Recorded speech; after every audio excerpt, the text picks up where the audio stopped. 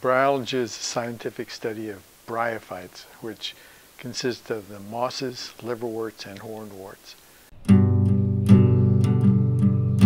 It's a unique group of green plants that produce spores, not seeds. Uh, they don't have vascular tissue, so they're very small.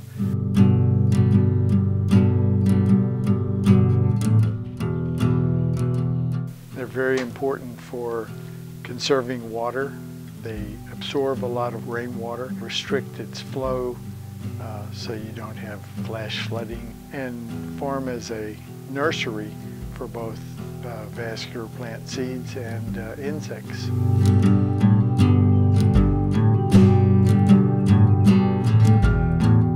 It started out as a uh, relatively small collection of, and has grown to I think over uh, 600,000 specimens now in the collection.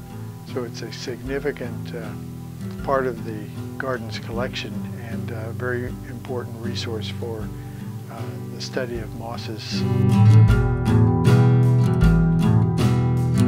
There's about 13,000 species of moss and we've collected a lot from the Arctic right down to the tip of Argentina and throughout Africa uh, and Asia.